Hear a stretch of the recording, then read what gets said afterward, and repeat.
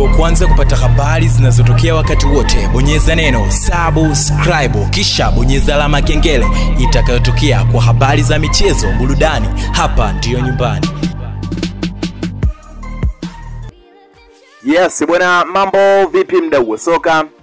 Asante kwa ambaye tayari umesha subscribe, lakini pia kwa wewe ambaye bado hujafanya hivyo e, basi wakati ndo huu sasa.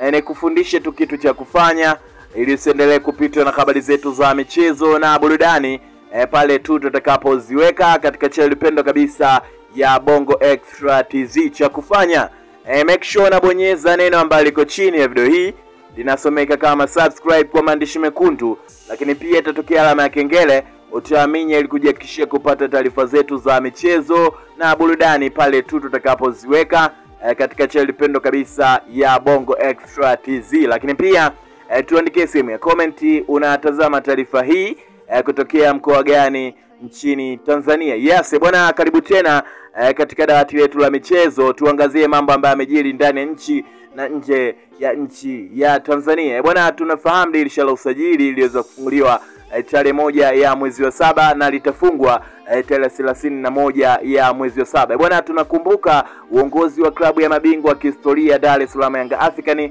uliweza kusema una uhitaji wa wachezaji watano kutoka nje na tumeona eh, mpaka sasa wameshamalizana na wachezaji wapatao watano akiwemo mchezaji ambaye aliwahi kuitumikia klabu hii ya mabingwa wa kihistoria Dar es Salaam Yanga African. Hapa namzungumzia ni Bernard Morrison, lakini pia na wachezaji mbalimbali kutokea eh, barani Afrika. Tumeona wamemsajili Lomalisa eh, tumeona wamemsajili Big Mana, tumeona wamemsajili Stefan Aziski. Sasa huu ni usajili mkubwa. Sasa siku ya leo wameweza kufunguka, wanaanza na wale watatu ambao walisema kutokea wanawasajili kutokea hapa ndani ya nchi ya Tanzania. Hapa siku ya leo uongozi wa klabu ya mabingwa wa kihistoria Dar es Salaam Yanga African umeweza kuthibitisha kwamba tayari wameshamalizana na mchezaji kutokea pale eh, kwenye klabu ya Geita Gold. Hapa anamzungumzia ni eh, George Mpole ambaye eh, msimu uliopita aliweza kuongoza magoli kumi na saba lakini pia akiwa na asisti nne na katika eh, kujihusisha na magoli ishirini na moja. Sasa mi naweza nikasema huyu ni mchezaji bora na mabingwa wa kihistoria